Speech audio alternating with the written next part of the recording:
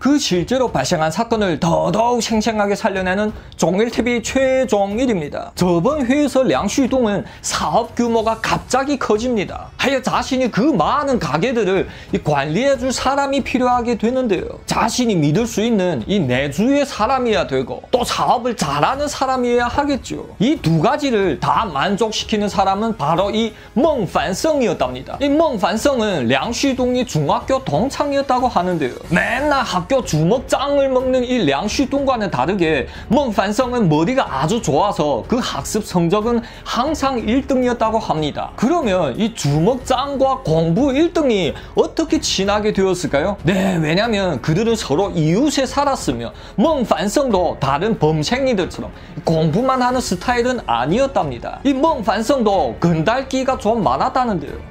글쎄 고등학교 2학년 때 량슈동을 위해 무리 싸움을 하다가 퇴학당하였다고 합니다. 그러니 량슈동이 미안하여 그 마음속에 더더욱 새기게 된 거였죠. 이어 멍판성은 학교에서 나와서는 한동안 뭐 알바를 하다가 시장에서 옷가게를 차렸다고 합니다. 사실 이 시기에 량슈동이 행동대장이었던 지태민도 이 옷가게를 하였었는데요. 하지만 지태민이 그 장사 수단이 딸려서 가게를 말아먹는 한편 이 멍판성은 가게는 그냥 점점 더 잘 됐다고 합니다. 여기서 우리는 멍판성 이 장사 수단이 남다르다는 걸 알 수 있죠. 하지만 또 이뿐만 아니라 멍판성은 이걸로 이 자금을 축적하여 지금은 강철 재련 공장을 차렸다고 합니다. 한마디로 말하면 그 사업 수완이 그냥 장난이 아니었던 거죠. 량슈동은 그런 멍판성이 그냥 딱 필요했답니다. 하지만 량슈동도 이것저것 사업이 바빴으니 따홍한테 명합니다. 따홍아, 내 수화의 애들 중에 그래도 네가 말을 제일 잘하자. 네가 가서 멍판성 좀 한번 데려와 봐라. 큰형님이 분부였으니 받들어야겠죠.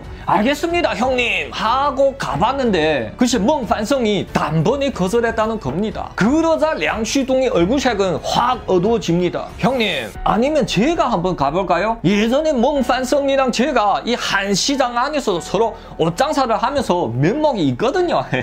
에? 그래야 량슈동이 척 바라보니 그건 지태밍이었답니다. 사실 저번 회에서 이 지태밍은 량슈동을 많이 실망시켰잖아요. 하여 량슈동은 그런 지태밍을 멀리 쩍 했을 때였었죠. 그러자 지태밍은 요번에 한번 공을 좀 세워보려는 거죠. 그래. 그래 봐라 그럼. 량슈동은 그냥 시끄럽다는 듯이 그냥 보냈답니다. 그렇게 며칠이 지나자 지태민이 풀이 죽어서 또 다시 돌아온 거랍니다. 저기 형님의 제가 그 멍판성 보고 우리 쪽으로 오라고 한마디만 했었는데 멍판성 그는 막 그거 지자랑을 두 시간이나 합대다. 아니 뭐 지금 강철 재련 공장에 직원이 60여 명이나 되는데 걔네는 어찌느냐 뭐 또 자기 한 해 순이익만 해도 몇십만 위엔이라는 아 또 있습니다. 그 멍판성 지가 더회시 제일 처음으로 오디 자가용을 구입한 성공한 청년이라고 또 지 앞에서吹牛비를 해서 제가 듣다 듣다 오글거려서 못 듣겠다 하더라고요. 네, 그러자 량슈동은 피식 웃습니다. 가 그런 능력이 없으면 내가 왜 굳이 가를 부르겠니? 하참 이놈 이거 뭐 제갈량이라도 되냐? 아니 내가 뭐 유비처럼 세 번이나 모시러 가야 되니? 오케이 까지고 뭐 요번에 내가 직접 가지 뭐 량슈동은 옷장에서 경찰복을 척 차려입곤 권총까지 찰칵하고 준비합니다. 그리고 또 그나마 멀쩡한 보통 사람으로 보이는 따홍을 데리고 출발했답니다. 그러면 량슈동은 어디로 가는 거였을까요? 멍판성한테로 갔을까요? 네, 아닙니다. 량슈동은 따홍과 차량 기사를 데리고 멍판성이 어머니 집으로 갔답니다. 왜냐면 그 두 집안은 어린 시절부터 이 이웃으로 살았으니 매우 가까웠죠. 어머니, 아이고 오랜만입니다. 어떻게 건강하셨죠? 량슈동은 예전에 그랬던 것처럼 친근하게 이 어머니라고 불렀답니다. 그리고 또 준비해온 선물 보따리를 풀어서 노인네를 기분 좋게 하는 거죠. 어머니, 저 지금 잘 나갑니다. 제 밑에 큰 레스토랑 하나에 그 장춘시에서 제일 크고 화려한 성로란 나이트까지 또 물류회사 몇 집이 있고 자동차 부품 시장까지 이 장춘 시 내에서 내 손을 아예 거친 데 없을 정도입니다. 그 다른 건 다 빼고 이 레스토랑 하나만 봐도 1년에 이윤이 200만 위엔입니다 어머니. 어떻습니까? 내 지금 이 많은 사업들을 이 알뜰하게 관리해 줄 수 있는 사람이 필요하단 말입니다. 내 이런 좋은 일에 내 짜게 바지 형제 멍판성을 아예 부르고 또 누구를 부르겠습니까? 량슈동이 얘기를 온 하루 귀담아 듣던 멍판성이 어머니는 난처해하며 얘기했답니다. 그래 나도 네 량슈동이 장춘시내에서 잘 나간다는 소리를 많이 들었지. 근데 또 어떤 사람들은 네가 흑사회 두목이라더라 말다. 그러면 내 아들이 들어가면 똑같게 되는 게 아니야. 그러자 량슈동은 깜짝 놀랍니다. 에? 뭐야? 내 소문이 여기까지 왔니? 량슈동은 깜짝 놀랐었지만 인천 비장의 카드를 빼듭니다. 아이고 우리 어머니 또 걱정도 팔자시네. 이 사람이 유명해지면 말입니다. 꼭 이렇게 뒤에서 헛소리를 제치는 사람들이 많습니다 어머니. 이걸 보셔. 이거 경찰증이고 수갑에 권총. 내 진짜 경찰입니다. 아니 내가 경찰인데 뭘 또 걱정할 게 있겠습니까? 량쉬동이 경찰 신분을 확인한 멍판성의 어머니는 그제야 안심을 하고 허락했다고 합니다. 어려서부터 어머니 말만 잘 따랐던 멍판성은 어머니가 오케이 하자 그제야 이 량쉬동이 수하에 들어갔다고 합니다. 사실 멍판성도 그렇고 그의 어머니도 그렇고 어떻게 알았겠습니까? 진짜 경찰 신분이었던 량쉬동이 또 진짜 흑사회 건달 두목이었다는 사실을요. 하지만 이렇게 발을 들여놓은 이상 이제 다리 한쪽을 내놓지 않은 이상 나갈 수가 없는 겁니다. 멍판성이 맡은 쪽은 그 레스토랑과 자동차 정비소 쪽이 모든 업무였다고 합니다. 오케이 뭐 이렇게 된 이상 이제 마음을 정비 하고 열심히 한번 해보자. 멍판성님 맡은 뒤에 그 두 항업은 더더욱 잘 됐다고 합니다. 역시 량쉬동리 안목은 정확했었죠. 하지만 또 바로 얼마 안 지나서 량쉬동은 또 규모가 엄청 큰 그 사우나를 오픈하였다고 합니다. 보셨나요? 량쉬동이 말대로 전체 장춘 시내의 그 모든 항업은 이제 그의 손을 걸치지 않은 데가 없게 되는 거죠. 이어 량쉬동은 또 그 사우나를 멍판성한테 맡깁니다. 이어 꼼꼼하기로 소문난 멍판성은 그 새로 장식해 놓은 사우나를 구석구석 그냥 꼼꼼히 검사해 보는 거죠. 하지만 그 사우나의 타일은 그냥 대충대충 해 놨답니다. 이리저리 그냥 간들간들하게 붙어 있었죠. 연멍판성은 당장에서 장식회사에 전화합니다. 왜? 아, 내그 사우나 쪽의 사람이요. 아니, 뭔 타일을 바풀러 붙여서? 무슨 일을 이따위로 하오? 라고 소리치자 또 그쪽에서는 뭐? 하참, 네 누구인데 이리 난시야? 어? 뭐? 멍판성이라고 어디서 굴러먹던 놈이 여기 와서 그래 내 니네 타일을 밥풀에 주고 섞어서 붙였다 어찌게 그 말을 들은 멍판성은 제대로 빡칩니다 네 그대로 딱 기다리고 있어라 들어? 라고 고래고래 소리 지르며 전화기를 끊었답니다. 그러자 곁에서 그 모든 걸 지켜보던 량쉬동은 피시 웃으며 얘기합니다. 자 우리 멍판성이 성질 아직 살아있네. 멍판성아 우리가 왜서 흑사회 건달을 하는지 아니? 네 눈에 내키지 않으면 마음껏 쥐업할 수 있고 그래도 시원하지 않으면 시원해질 때까지 분질러 넣을 수도 있다 이거다. 네 아무리 저 하늘을 뚫어놔도 나 이 량쉬동이 막을게. 얘다 가서 어디 한번 마음껏 찍어봐라 하며 량쉬동은 손도끼를 전해줍니다 오케이 좋았어 이것도 오늘 다 죽었어 이어멍판성이 씩씩거리며 나가자 량쉬동은 왕웨이한테 눈치질을 합니다. 그러자 행동대장 왕웨이는 다섯 명의 부하를 거느리고 그 멍판성이 뒤를 따라갔다고 합니다. 그럼 그 결과는 어땠을까요? 네, 멍판성은 이제껏 참으며 살아왔던 그 울분들을 그냥 마음껏 토해냈다고 합니다. 전에 흑사회에 들어오기 전에야 뭐 무슨 일이 있으면 또꾹 참고 그냥 좋게 좋게 해결해야 했었지만 이젠 아니었답니다. 지 마음이 시원 시원해질 때까지 그 장식회사 사장을 그냥 쥐업해고는 또 돈까지 받아내고 흥얼흥얼 거리며 돌아왔다고 합니다. 멍판성은 세 번을 거쳐 그 장식회사로부터 10만 위엔이 거금을 빼앗아냈다고 합니다. 이제 뭐 그냥 량쉬동 조직과 그냥 스쳐 지나기만 해도 돈을 떼우는 신세가 되는 거죠. 그 뒤부터 차근차근 하던 멍판성도 180도로 다른 사람이 되었다고 합니다. 이제 툭하면 그냥 곁에 담배 재떨이를 던졌고 주먹부터 나갔다고 합니다. 썩 나중에 멍판성은 경찰에 잡힌 뒤에 기자들과 이런 얘기를 했다고 합니다. 그전에도 기업인으로 잘 나갔었는데 그래도 많은 일에서는 그냥 꿍하고 참으며 살아왔겠죠. 하지만 량쉬동을 따른 뒤로부터는 조금만 성질을 건드리면 그냥 폭력을 마음껏 써도 되니 이런 폭력은 또 담배처럼 인이 박힌다고 합니다.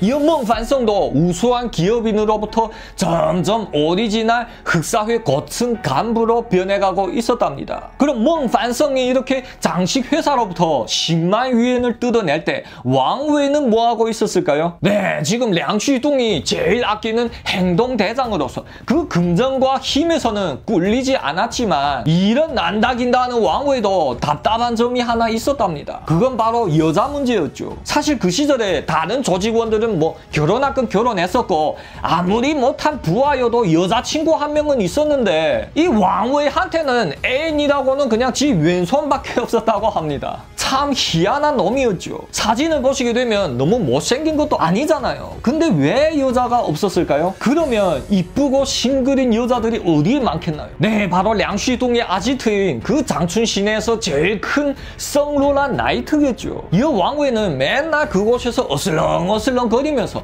먹잇감을 노렸답니다. 그러던 중 왕후에는 샤오웨이라는 여자를 눈독 들이게 되었는데요. 그의 말로는 성로란 나이트에서 제일 이쁘게 생긴 아가씨였다고 있다고 합니다. 제일 이쁜 룸사롱 아가씨와 제일 잘 나가는 흑사회 행동대장이라 뭐 그림이 되잖아요. 이 왕후에는 룸사롱 마담을 시켜서 자기 뜻을 전달하라고 했답니다. 하지만 하지만 말입니다. 그 아가씨는 왕후가 못생겨서 싫다고 했었답니다. 뭐, 뭐, 내 못생겨서 싫다고?